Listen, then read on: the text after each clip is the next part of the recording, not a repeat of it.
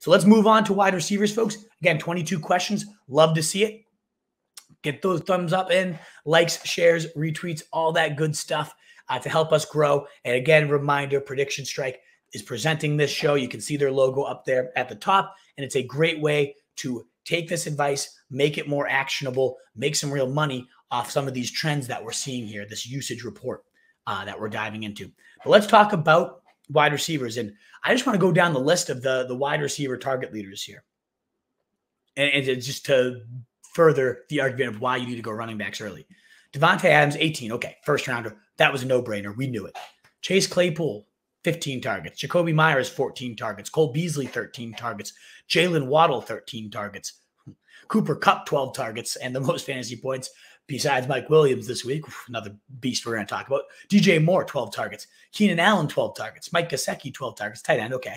Michael Pittman, 12 targets. We'll get the tight end. Don't worry. Gesicki will be there. And Brandin Cooks, 11. I mean, you look at that list, well over half of it you could have had beyond round eight. All but Davante Adams went after round four. Uh, Cooper Kupp, I guess, and DJ Moore round four ish targets. Further proof that you need to load up on these running backs because volume is so much more abundant late for the wide receiver position compared to the running back position. Of course, we got to talk about Cooper Kupp. I mean, 30% team's target share through three games. He's the only joined by Brandin Cooks, DK Metcalf, and DJ Moore in that field. Pretty impressive list, especially Cooks and DJ Moore looking like two of the better values of the year right now. And you also had 25% target share in all three games for Cooper Kupp, for Mike Williams, and also Sammy Watkins, an intriguing pickup there. But let's dive into some specific names. We talked about King Adams at the top, 12 catches on 18 targets, 132 at a TD. Rodgers is looking back. He's looking motivated. You saw the way he celebrated that field goal. Great to see for all you Davante Adams managers out there. Uh, love to see this type of performance there. Could have had another touchdown too. Could have been an even bigger day, but we're not going to get greedy. And again, Cooper Kupp, that breakfast narrative, seeing 93% of the routes. He is the every down alpha. It, it, there was no question. We've been saying that since week one, the way he was used, the fact that he had breakfast every day, the Breakfast Club narrative might be my favorite of all. And it's clear it, it's worked out. Him and, and Stafford have an insane rapport. One of those guys that if you had invested in the preseason on prediction strike, your money would be going through the roof with him. He is a monster. The wide receiver one in fantasy football, another two touchdown day. Great performance here from Cooper Kupp. But what this is kind of segueing into is what is going on with Robert Woods.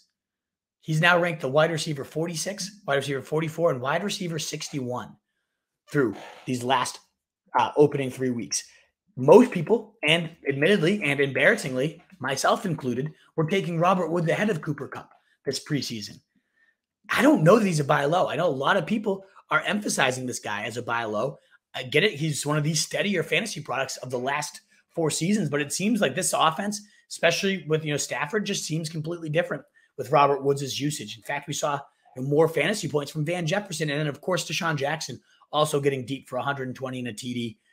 It's other than Cooper Kupp, I think it's going to be tough to trust Woods on a weekly basis. I hope I'm wrong. I hope he rebounds because I own him almost everywhere. But damn, I'd be looking so pretty in a lot of best balls if I had changed that Robert Wood share to Cooper Kupp. I would do anything to be able to do that.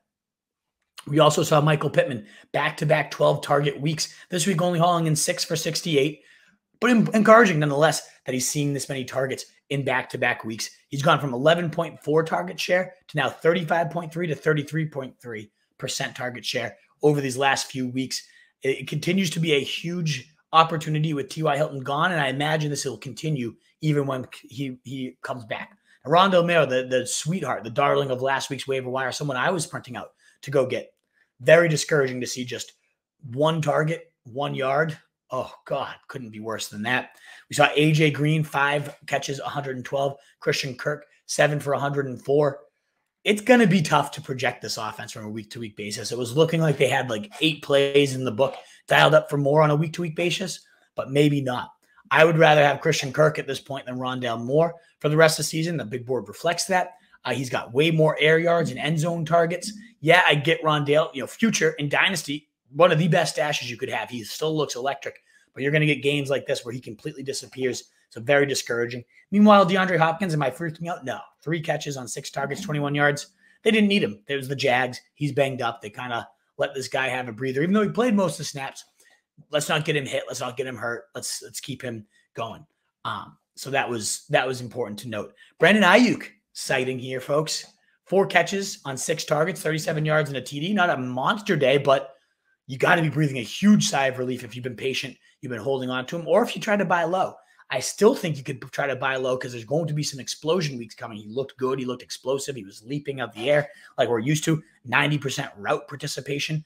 Great stuff to see. Everything is trending up, in my opinion, for Brandon Aiyuk, especially when Trey Lance takes over with that cannon deep arm.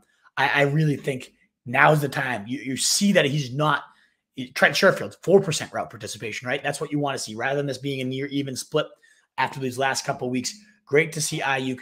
Good celebration to have uh, if you're owning him because it's only uphill, I think, from here. Marvin Jones continues to pace the Jags once again in catches, six targets, eight yards, 62. Not a monster day, but a guy that's going to be a dependable wide receiver three, maybe even wide receiver two moving forward. 24.6% target share compared to 19.3% DJ Chark and 17.5% for Laviska Shenault. I was projecting this one all wrong, thinking Shenault was the guy to own. I did like Marvin Jones and his value too. I own both of them in a lot of leagues. Shenault's looking almost cuttable at this point, whereas Jones is a clear cut every week starter moving forward on a team that is always going to have to chuck because of how bad they are. Meanwhile, as we mentioned, Sammy Watkins, 25% target share all three weeks this season, four catches on seven targets, 68 yards. I mean, mediocre, not a huge stat line, but very involved. Now, granted, Rashod Bateman is practicing this week eligible to come off the IR. We don't know exactly how he's going to look. Will obviously impact Sammy Watkins if Bateman's looking good, but just worth noting how valuable Watkins has been. Certainly someone that you want to hang on to. Ja'Marr Chase, again, two touchdowns, 65 yards, unguardable in the red zone. And Burrow clearly locking into his guy from LSU when he gets out there. Yeah, granted, Tee Higgins was out, and that's going to be you know a big mouth to feed on a week to week basis. Tyler Boyd also saw more targets, seeing seven of them but it was Chase making the big plays, getting open in the red zone. I think he's locked and loaded as a, a high end wide receiver two with low end weekly wide receiver one upside. Meyers, Jakobi Meyers, we mentioned him at the top when we were talking about all the leading target shares. He gets nine uh, catches on 14 freaking targets, 94 yards. This kind of highlights the, the upside and the downside. When they're down, they need to chuck. He is the slot receiver. He's the Edelman chain moving possession guy but he doesn't score. So fantasy wise, like nine for 94, great in PPR leagues. You got to love a game like that. But in half, and especially in standard, like is this really that valuable? Can you force him into your lineups every week? Of course, nine for 94 is valuable. But on the days where they don't have to chuck it quite as much, is that going to be as promising? Of course, next week facing Tom Brady and the Bucs, they're going to need to boot two points. So you can trust Meyers on weeks like that. Uh, but still, it's just like the unsexiest high volume role in the NFL right now. Tyreek Hill, what is going on? Five catches, seven targets, 56 yards, back to back quiet efforts following a 40 point week one. I still think buy low all day if anyone's panicking over this. They they're going to figure it out. I get that teams maybe there's a blueprint for stopping Tyreek Hill and slowing down the Chiefs offense. Other people do need to step up. I don't think this is going to continue at nearly the rate of him getting shut out these last couple weeks. He had two good corners in back-to-back weeks, just shut shutting him down with safety help over the top. I'd be buying low everywhere on Tyreek Hill. If people are freaking out. We'll drop him. You know, he was my number one receiver on the board. He goes below Adams, you know, after an 18 target day for Davante Adams. He's back to the king spot, no doubt. Maybe Cooper Kupp rises above Tyreek Hill. Can't believe those words just came out of my mouth and they're true. But still, uh, it's Tyreek Hill. He's going to explode sooner than later, probably as early as next week against the bad Eagles secondary. Another good buy low at the receiver position. Stefon Diggs, a first rounder that has not yielded a single wide receiver one performance yet, not even a top 24, not even a wide receiver two performance yet this year. Yet he's still seen 28% of targets, 27%, and 23% these last few weeks. The difference is the lack of conversions on these 15 plus air yard targets one catch on eight of his targets at, through three weeks. At this time last year, Stefon Diggs had seen seven catches on seven of such targets of 15 plus air yards through three weeks. So they're not converting at that high of rate. Emmanuel Sanders is also proving to be a fantastic number two there right now. Cole Beasley still a chain moving monster.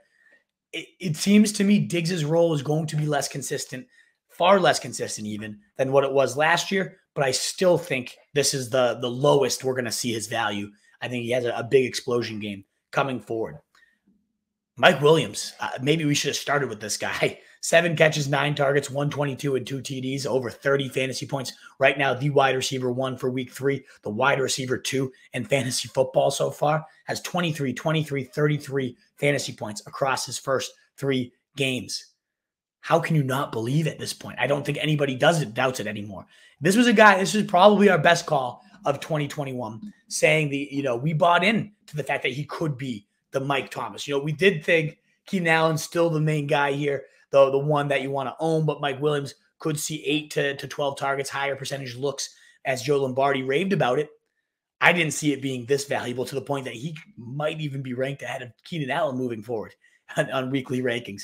Just an absolute monster. It's crazy to see. You know, you don't typically see around year five breakout, but he nothing about his games looked flukish. And we've always seen the big plays and these catches that like only a handful of people can make in the NFL. But now that they're using him in a higher volume, that again, that X role that they compared him to Mike Thomas for, he's playing like Mike Thomas right now. That's insane. It's awesome.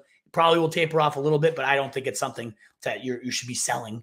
This isn't a sell high. This is a hold. And if you can get chairs for for cheap right now, I would be looking to do so. We mentioned Manny Sanders, solid day, 94 yards, two scores, very solid day, six targets and five catches. Looking like one of the best guys that's still out there in over half of leagues for you to go and scream and pick up. But Beasley is also heavily involved. The most targets pacing the team with 13, 11 catches, 98 yards, a PPR monster. Again, a reason to be a little bit lower on Diggs, still great buy low in my opinion, is the fact that these two are looking fantastic uh, in this offense. But more so, just again, we talked about Josh Allen at the top. These guys are back and cooking.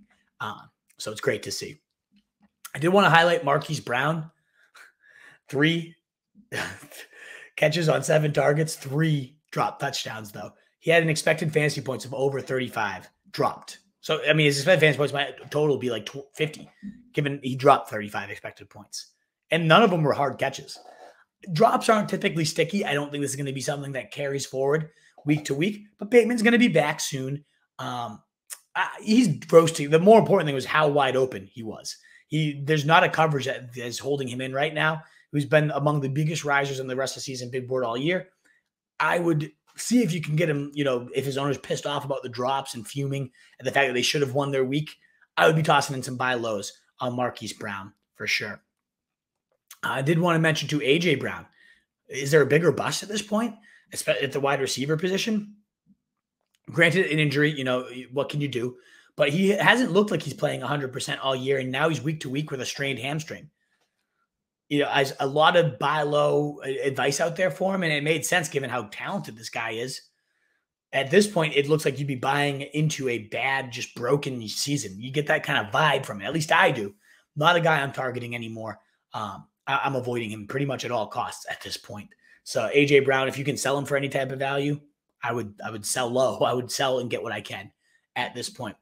Did want to mention Marquez Callaway, 41 yards and a TD on five targets. Like seems like a promising mini breakout game, but none of the Saints receivers ran a route on or more than 60% of the pass plays. He was, you know, nobody saw more than 50 yards other than Kamara. Uh, it's just a gross situation. The touchdown was like one of the flukiest, should have been picked off, gross throws from Jameis Winston. So I'm not buying that. Didn't love what I saw over there from um from Marquez Callaway. So I'll be selling that performance for sure. We also had Henry Ruggs, though, you know, seven targets, four catches, 78 yards. What I, what I really liked, aligning in the backfield, you know, getting peppered downfield, hauling in a, you know, uh, 16 yard catch and run, going over people. He's looking more complete. This is a guy that's coming along as a wide receiver here. And yeah, Bryan Edwards, 89 yards, it led the team. Ruggs and Darren Waller paced the team with targets. Uh, and Ruggs had more yards than him. So a little bit of a concern for Waller moving forward, the fact that these guys are looking as good as they are. And I think Ruggs has some promising wide receiver three appeal moving forward. Target hog, though, Jaylen Waddle. 13 targets, 12 catches, 58 yards. You know, disgusting efficiency, useless in that sense. But the 13 targets is what you're drawn to, especially because Will Fuller was playing this game. Now, granted, Jacoby Brissett's the QB. I don't think that, you know, it, you got to look at Tua's games and all that stuff. But the fact that they were dialing them him up as much, even with Fuller, even with Parker active, was very encouraging. So I, I think he's got to be in your lineups every single week moving forward, given the workload that Jaylen Waddle is seeing. Guy that you could bench him for, uh, or bench, you know, for Jaylen Waddle rather, a guy that I don't really want to play. I guess gets Detroit this week, but holy crap, Allen Robinson, what is happening here? Two catches, 27 yards. What an awful third round pick right now. I was all in. I, I thought this guy was, you know, he hasn't finished below the wide receiver eight. He's been in Chicago. Now he's supposed to get the best quarterback of his career, whether it's Dalton, whether it's Fields. Now I'm sitting here begging it was Trubisky throwing him the rock, chucking it up, and making sure this guy got fed. I guess he has a 25.3% target share, but similar to Montgomery, does it matter in an offense that is as anemic and pathetic as the Bears right now? 47 total yards of offense. Just disgusting. Six completions on the afternoon. I don't think you can trust him until we see any type of life from this attack. One of the biggest fallers moving forward. He hasn't finished above the wide receiver 49 in a single week.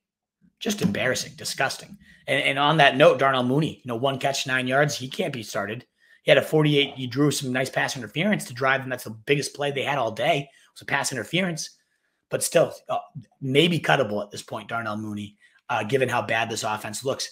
If you cut him, you know, maybe you look at Collin Johnson, four catches, 51 yards, given the injuries to Sterling Shepard and Darius Slayton and Kenny Golladay and Evan Engram being banged up.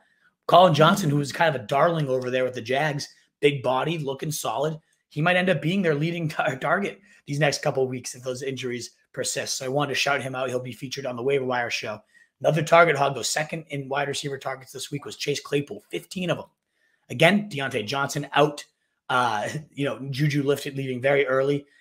It was all Harris, 19 targets, and Claypool, 15. He hauls in nine of them for 96 yards. So it wasn't like that that great. You see 15 targets, you should probably have a better day than this.